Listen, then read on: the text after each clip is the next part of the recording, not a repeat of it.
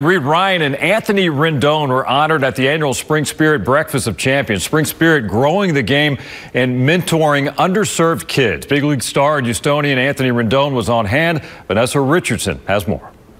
Anthony Rendon spent his morning giving back. The relationship that Spring Spirit builds uh, with the people in the community, I think that's going to be the driving force of change. It's part of using your platform to give back to the community and a, and a, community that in many ways is underserved. Rendon doesn't just want to be known for what he does on the field. He said he and his wife are making it a priority to give back here in his hometown of Houston. My wife and I are very passionate about trying to give back. We've started our own nonprofit. But what about the elephant in the room? After all, it was Rendon who helped the Nationals beat the Astros in the 2019 World Series. And yes, they showed highlights of it before introducing him. It's the first time I've ever seen somebody's World Series highlights where nobody in the room clapped. And uh, he was great about it. I enjoyed it, uh, but just because I was on the winning side of it. Um, but they can't complain. They, uh, they got one in 2017, cheating or not. There's always smack talk, but Houston has his heart.